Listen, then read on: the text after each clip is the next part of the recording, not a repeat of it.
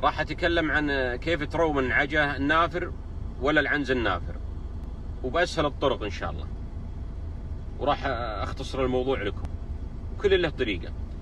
أول شيء تجيب النعجة إذا كانت العنز أو النعجة ميت ولدها أو نافرته.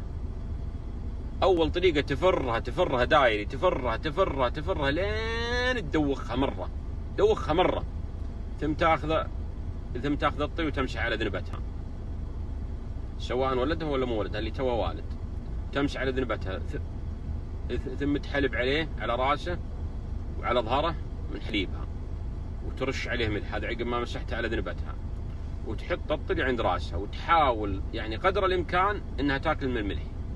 هي الحين دايخة. من كثر ما فريتها تدوخ. اللي اكلت من الملح اللي على ظهر الطلي بمشيئة الله إنها راح تروم بمشيئة الله بعد ما فريتها وحطيت الطلي على ذنبتها وحلبت عليه حليب ورشيت عليه ملح. وكلت من الملح اللي على الطلي. ما عليك إلا إنك تحطها في شبك وتربط في يدها بعد فرسنها تربطها في حبل ما يكون طويل. عشان ما تقعد تحوس في الشبك. عشان الطلي من قريب يصير يلكشها ويرضع. ويفضل يكون الطلي جايع. يكون الطلي جوعان. عشان يرضع في النعجة. هذه وحدة. وثاني شيء كرمك والله إذا عندك كلاب أو كلب تجيبه قريب من الشبك. فالحالة ذي تخاف وبنفس الوقت هي دايخة وتروم بمشيئة الله. هذه بالنسبة لي توها والد. أما النعجة اللي رايمة ولدها مبطي حدرها ولد له 10 أيام 20 يوم. ومات يفضل إنك تصبر عليها خمس أيام وبعدين تروم عليها عشان تنسى ريحة ولدها الأول.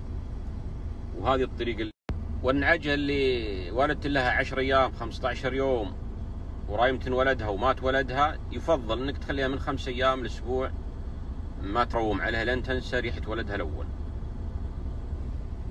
واعرف بمشيئة الله من حطيتها في الشبك وربطت فرسنها وقامت تاكل من الملح وخافت أعزكم الله من الكلاب وقامت تخبط بيدها خافت اعرف إنها رامت بمشيئة الله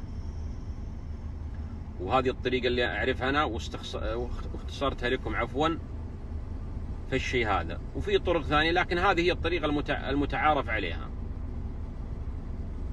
وبمشيئة الله إنها راح تروم. وإن شاء الله إن يكون شرحنا واضح وكافي والكل يستفيد اللي يعرف واللي ما يعرف. لكن هذه الطريقة اللي أنا أعرفها ومنكم أعرف مني في الشيء ذا. وأسأل الله التوفيق لنا ولكم ولا ينقصنا إلا دعاءكم. نسأل الله التوفيق.